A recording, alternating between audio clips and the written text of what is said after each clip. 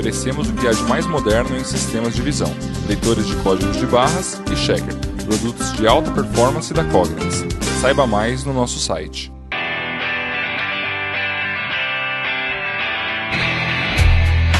Valdez Sanches é presidente da Navistar América do Sul e recentemente assumiu a operação de caminhões International. E eu vou perguntar, Valdez, quais são os planos agora? Quantos modelos de caminhões você vai querer vender no Brasil e na América do Sul? Bom, Pedro, nós estamos nesse momento exatamente fazendo uma avaliação extraordinária da repercussão dos produtos expostos aqui na feira e, obviamente, isso vai de definir o portfólio completo de produtos a ser oferecido. Claro que outras pesquisas e outras avaliações estão sendo feitas. Você sabe, hoje nós já oferecemos dois modelos, um modelo é, COE, Cabin Over Engine, é, e também oferecemos um modelo Aeronause, ambos sendo fabricados é, em Caxias do Sul, sob o comando, a direção da Navistar. E estes produtos nós sentimos é, estão sendo muito bem aceitos pelo mercado. O próximo, a próxima etapa, na verdade, é fazer uma avaliação agora dos resultados da Fenatran e com isso estabelecemos o plano de trabalho que vai nortear os nossos, as nossas ambições, os nossos projetos para os próximos anos. Você trouxe um dos caminhões mais vistosos da feira, o Lone Star. É, existe alguma possibilidade de se vender um caminhão desse aqui? Com certeza.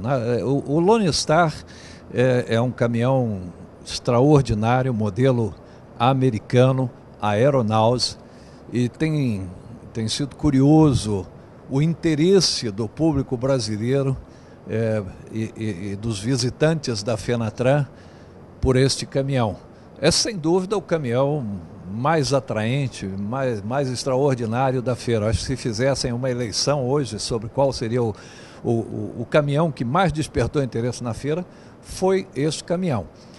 Na verdade, nós estamos trazendo Lone Star, estamos trazendo também o Workstar e estamos trazendo um conceito novo que é o Aerostar. E estes produtos estão, especialmente o Aerostar, está sendo mostrado pela primeira vez é, numa feira, e não por acaso na Fenatran, e não por acaso no Brasil, uma vez que este projeto foi feito por engenheiros brasileiros, considerando o mercado, as, aquilo que o mercado brasileiro aspira em termos de um, de um caminhão, mas visando o mercado mundial. Em outras palavras, nós estamos fazendo deste projeto uma base no Brasil para o mundo.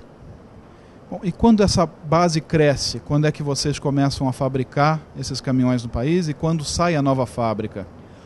Então, a visão que nós temos é que na Fenatran 2013 nós estaríamos lançando o Aerostar e produzindo numa planta nova, totalmente desenhada, projetada para o novo ciclo da Navistar no Brasil. Você sabe, hoje nós já temos três fábricas no Mercosul eh, de motores, duas no Brasil, São Paulo e Canoas, no Rio Grande do Sul, temos uma fábrica em Córdoba, na Argentina, e temos a operação de caminhões em Caxias do Sul. Então estaríamos caminhando para a nossa quinta planta na região. O projeto está pronto, a fábrica está desenhada, baseada no, no, no, nos conceitos das nossas melhores operações nos Estados Unidos, México e Índia. Portanto, será uma fábrica realmente diferenciada na região. E a expectativa é que a nova fábrica e o novo caminhão estejam prontos para a Fenatran 2013. Qual será o investimento e quando vocês devem anunciar a localização desta fábrica? A localização da fábrica é, depende, obviamente, de uma série de variáveis, tá? como logística, as negociações de, com os governos eventualmente interessados no projeto, a, a disponibilidade de recursos humanos ou de o potencial de formação de recursos humanos, os aspectos ambientais que nós temos um respeito extraordinário no nosso projeto de estar instalado estar obedecendo rigorosamente todos esses requisitos. Então, eu imagino que em mais três meses, quatro meses, nós estaríamos em condições de definir o local da nova planta. Quanto aos, aos investimentos, eu posso dizer para você que num horizonte, essa planta como eu disse, ela começa sendo dedicada ao projeto Aerostar e posteriormente para os novos projetos da empresa. Quando nós olhamos ah, ao longo dos próximos cinco anos, eh, nós eh, estamos hoje projetando um investimento da ordem de 200 milhões de dólares nesta nova operação. Mas isso seria só para o caminhão pesado Aerostar. No caso de outros produtos que vocês pretendem desenvolver, não. Aí seriam outros investimentos. Seriam novos investimentos em adição a esse que eu acabei de mencionar. Você pretende, Sanches, ser um fabricante full range no Brasil? Com certeza. Entendemos que é, para nós operarmos plenamente nessa região, nós a médio prazo deveremos estar oferecendo caminhões leves, caminhões médios, caminhões pesados, enfim, os produtos que o nosso revendedor, que o nosso mercado anseia por ter e nós temos plena consciência que precisamos ter um portfólio completo de produtos e é nesse sentido que estamos trabalhando. Um cenário muito competitivo para os próximos anos, com vários novos fabricantes de caminhões chegando ao país. Quais são as principais vantagens sobre os newcomers? Então, neste neste meio bastante hostil, nós hoje já contamos, como eu disse, com três operações de motores no Mercosul. Nós temos uma operação de caminhões no Rio Grande do Sul que pouca gente sabe. Nós exportamos nesses últimos anos, a partir da nossa operação de Caxias, algo como 10 mil caminhões para diversos mercados mundiais. Nós temos uma equipe extraordinária, um conhecimento da base de fornecedores existentes nesse país, um conhecimento das regras do país para operar.